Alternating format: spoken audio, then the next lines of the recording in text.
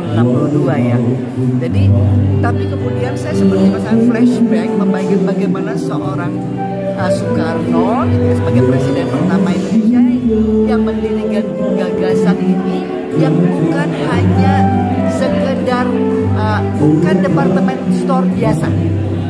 Ya ini ya, bukan departemen store biasa. Kalau saya pernah main bukan perempuan biasa, departemen store Sarinah ini bukan departemen store biasa.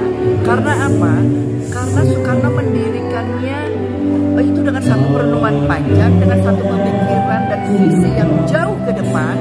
Jadi yang harus karakter building betul yang selalu diingatkan oleh Bung Karno bahwa cinta terhadap Indonesia itu banyak sekali sisi-sisinya antara lain cinta tanah air produk Indonesia dan cinta terhadap seni Indonesia.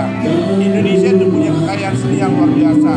Ini yang ditularkan oleh Bung Karno. Tidak hanya di dalam negeri saya sering lihat juga banyak sekali Bung Karno juga memberikan uh, dampak positif ya aspek positif terhadap dunia pariwisata. Bayangin banyak sekali yang terkait dengan beliau. Umpamanya konferensi Asia Afrika